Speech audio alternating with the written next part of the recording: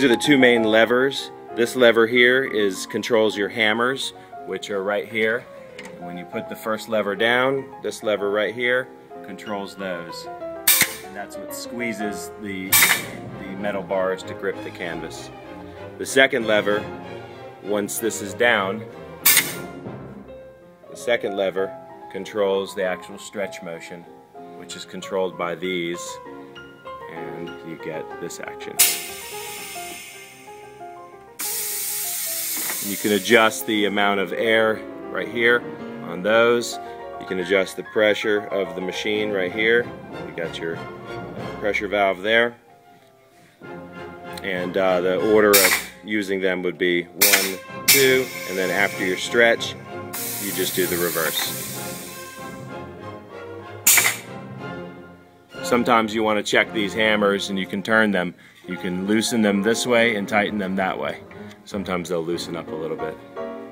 We use the three quarter inch bars and the inch and a half bars.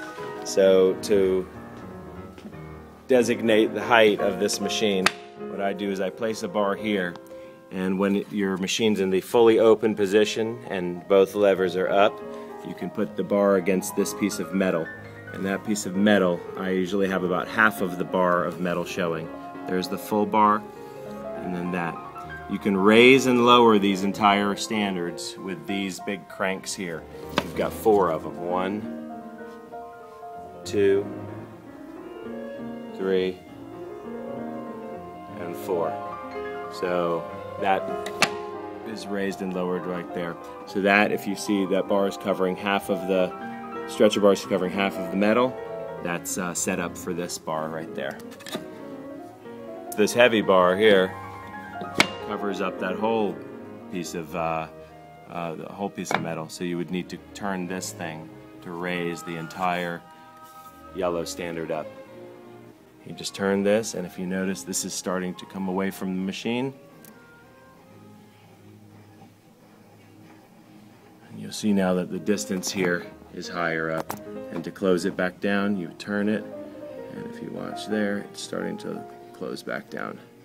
And you do want to crank all four of those equally so that all four corners of these are the same distance from the machine. When you have a stretcher bar in the machine, the amount of actual thickness of the bar here and where you want to put your staples um, is determined by how far out this comes when you actually do the stretch motion. Right now, there's your first lever was the hammers, and the second one is that. And it puts the channel for your staples right there. If you want it to be further this way or further this way, to raise it back up, you can adjust that with this right here. You have four of them. So this nut is going to give you more distance. This is your actual travel of the stretch motion. So I would do them both the same. So now, when you do the second lever, you'll get much more travel and you end up way further out on the bar than before, as represented by this. In this case, you had this much travel. If you want to make it less, bring this down, and now you'd only have this much travel.